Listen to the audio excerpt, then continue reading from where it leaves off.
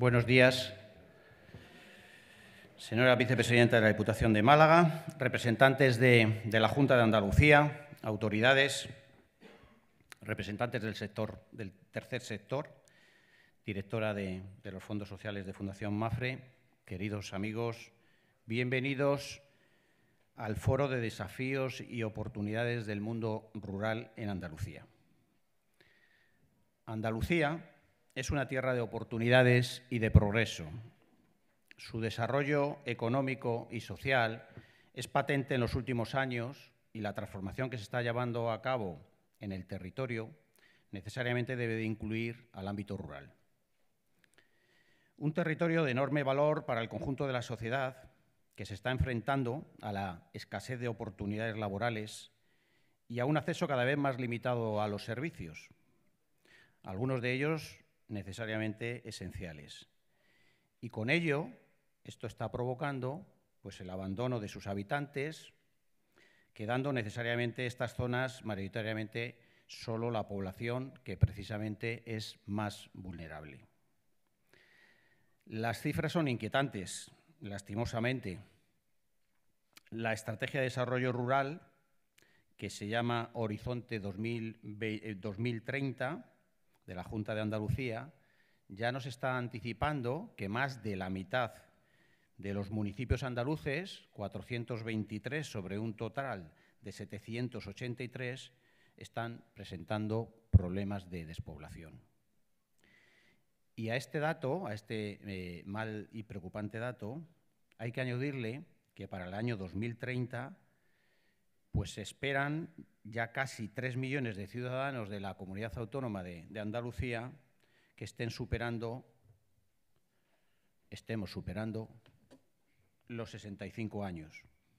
Y en la mayoría de ellos, además, en estos, en estos territorios, van a ser los únicos habitantes de esos entornos rurales si no actuamos ya.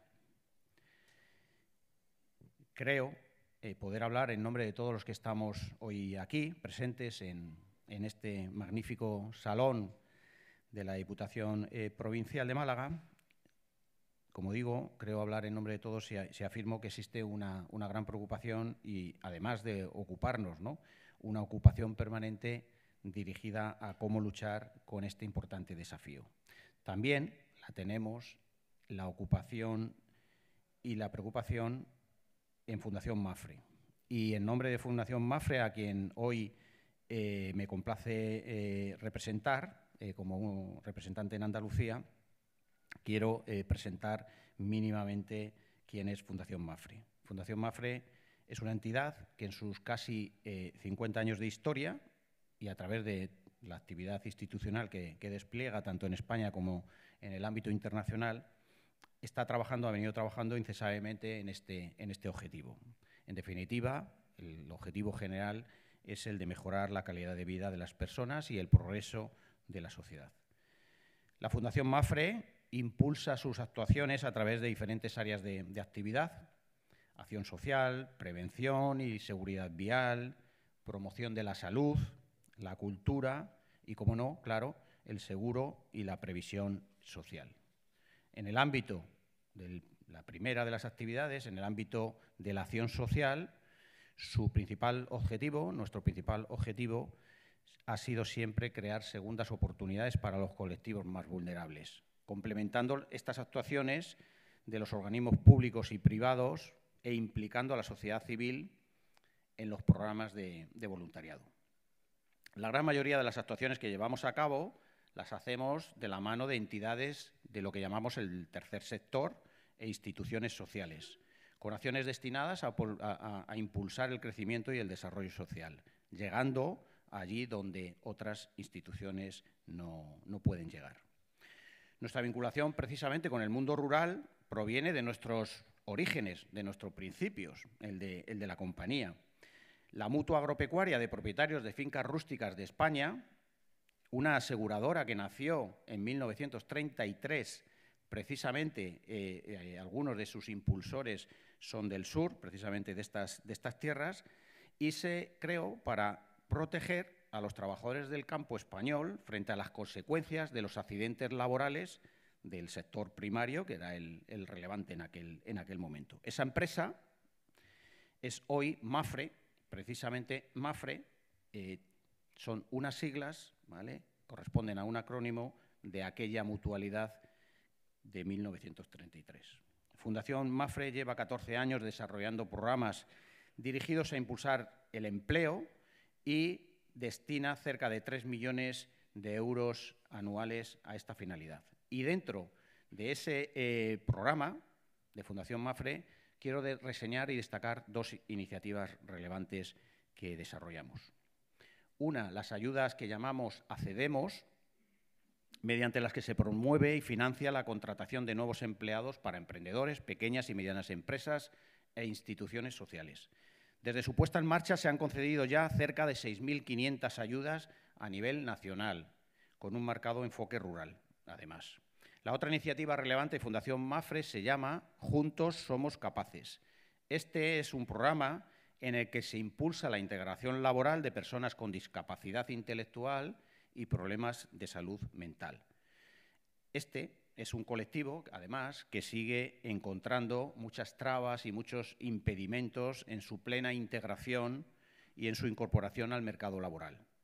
Desde 2010, un año en el que comenzó esta iniciativa, han tenido la oportunidad laboral eh, nada más y nada menos que 1.100 personas de estos colectivos. Y estamos ya colaborando con más de 1.000 empresas en toda España, 100 entidades sociales y 44 asociaciones empresariales en Andalucía.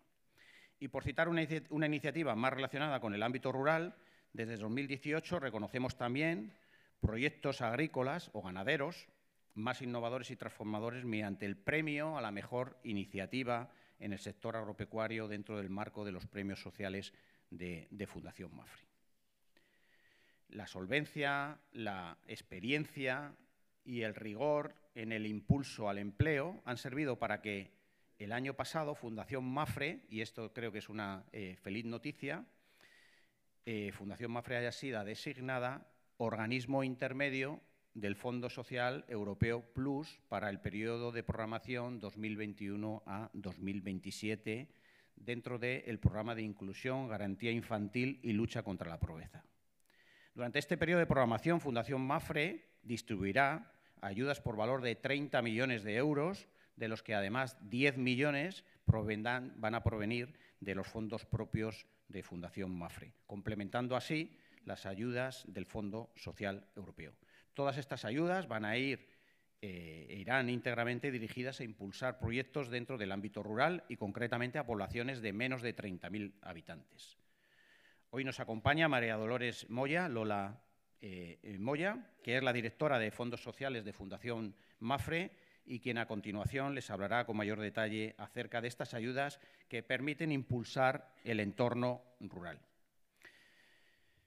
Hoy precisamente estamos aquí en Málaga para hablar de estos retos que se nos están planteando dentro del entorno rural andaluz.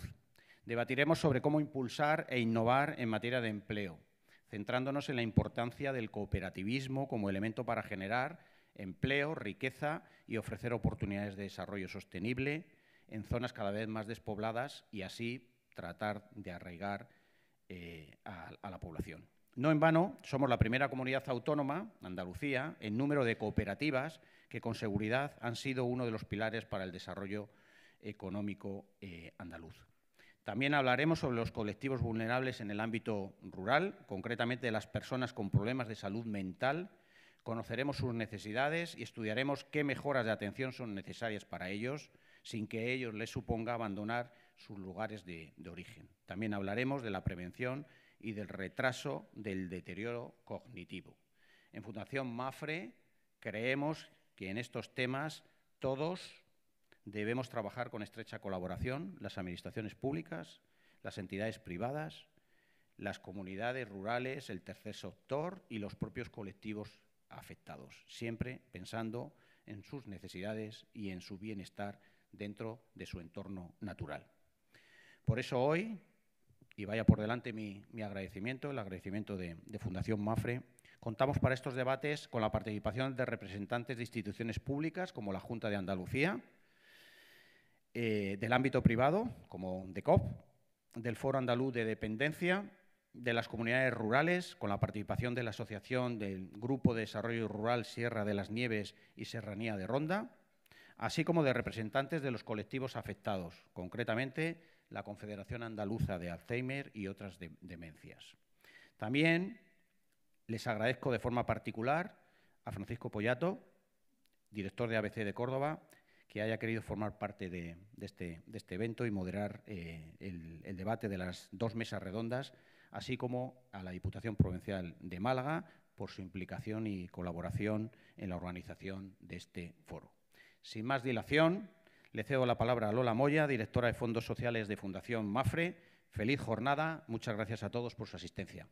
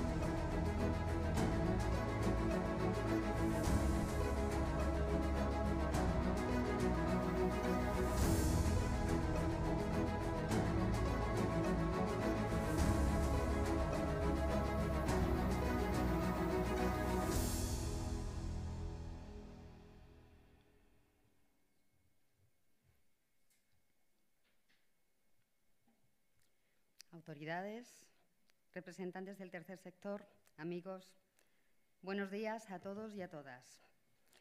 Quiero comenzar mis palabras agradeciendo en primer lugar la acogida y la colaboración que hemos encontrado en el Centro de Innovación Social La Noria y en la Diputación de Málaga, que nos han facilitado enormemente la organización de este evento. Su vicepresidenta, doña Antonia Ledesma, a quien agradecemos de antemano su participación, hará el cierre institucional de este evento. Málaga nos ha parecido un lugar perfecto para hablar de desarrollo y de oportunidades en Andalucía. Como bien ha indicado Pepe en su intervención, es a lo que nos venimos dedicando en Fundación Mafre desde hace casi 50 años y de una manera mucho más comprometida aún desde el pasado año cuando fuimos designados organismo intermedio del Fondo Social Europeo Plus, que constituye uno de los principales instrumentos de la Unión Europea para promover la inclusión social la igualdad de oportunidades y el empleo. Desde el año 1986, con la incorporación de España a la Unión Europea, estas ayudas han permitido la ejecución de proyectos a nivel nacional, cuyo fin último es invertir en las personas y reducir las desigualdades entre los territorios. En el ámbito de la integración sociolaboral, el Fondo Social Europeo desempeña un papel fundamental en la creación del empleo, y en la puesta en marcha de programas de formación y capacitación para mejorar la empleabilidad de los ciudadanos. Y en el ámbito de los cuidados, el Fondo Social Europeo impulsa la puesta en marcha de programas de atención y cuidados especializados, así como la formación de profesionales sociosanitarios y de cuidadores informales. Y es precisamente en estos dos ámbitos, la integración sociolaboral y el acceso a servicios sociosanitarios y a cuidados de larga duración, donde Fundación Mafre ha adquirido el compromiso de seleccionar, gestionar proyectos dentro del Programa Pluriregional de Inclusión Social, Garantía Infantil y Lucha contra la Pobreza. Un compromiso que supone para nosotros la enorme responsabilidad de facilitar que el Fondo Social Europeo llegue a los más vulnerables y también la oportunidad de impulsar y amplificar el impacto de proyectos de ámbito social transformadores de la vida de las personas.